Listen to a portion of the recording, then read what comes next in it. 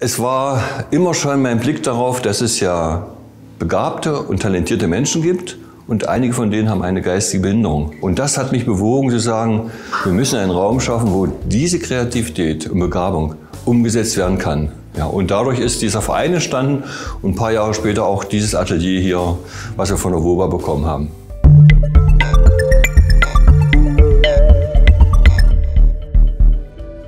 Der Zinnober Kunstverein bietet Menschen mit geistiger Behinderung die Möglichkeit, ihre Kreativität auszuleben. Wir wollen sagen, Kunst in reinster Form, so wie der Künstler das umsetzen möchte, das wollen wir hier verwirklichen. Da, wo wir uns vielleicht ins Gespräch begeben mit dem Künstler, ist, welche Technik er anwendet, was könnte er für eine Technik noch dazu nehmen. Die Kunstwerke selbst bleiben so bestehen. Und sie werden ausgestellt im Atelier in der großen Diesdorfer Straße 166a das gleichzeitig auch eine Galerie ist. Darum stehen noch die Namen an den Kunstwerken, auch oben drüber, die Vitas hängen aus. Schon dieser Raum, der auch öffentlicher Raum ist, kann jederzeit besucht werden. Außerdem bewirbt sich der Verein für Kunstmessen. Bei der Kunstmitte waren die Künstler und Kunstwerke des Zinnober Kunstvereins erstmals 2020 vertreten. Ich habe im Vorfeld angerufen und gesagt, geht es denn auch, dass so ein Verein wie wir mit dem Hintergrund sich bewirbt? Ich gesagt, das spielt für uns keine Rolle, bewerben sich, sind die Bilder gut, werden sie genommen. Das haben wir gemacht voriges Jahr und sind angenommen worden und haben ja dann in der Stadthalle die, die letzten Tage ausgestellt, bevor die Stadthalle umgebaut wird.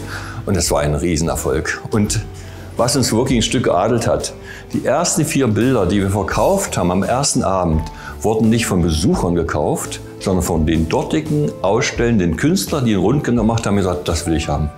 In diesem Jahr stellt unter anderem Thorsten Klotsch seine Werke bei der Kunstmitte aus. Er malt eben diese Gesichter, ob auf Karton oder auf Leinwand oder auf Sperrholz. Und letztens hatte ich noch mal ein Buch gesehen von Moritz Götze, den Künstler aus Halle, der auf Emaille, mit Emaille umgeht. Und da haben wir gefragt, wo ist das? Im Muldental zwischen Leipzig und Dresden. Sind wir hingefahren und mitten in den Produktionsprozess zwischen Ofenrohren und Straßenschildern, wo Emaille wird, hat man uns einen Platz eingerichtet. Man hat die Bilder von Thorsten Klotz gescannt, aus dem Blech ausgeschnitten mit Laser und dann konnten wir äh, die, die Farbauf Aufträge machen. Das ist so wie Schlicker, das ist das Emaille, wird gebrannt. Und so ist eine völlig neue Kunst entstanden, Emaille-Schilder, die das allererste Mal zur Ausstellung in, zur Messe gezeigt werden. Die letzten Vorbereitungen für die Kunstmitte in den Magdeburger Messehallen sind in Gange und die Vorfreude ist riesig.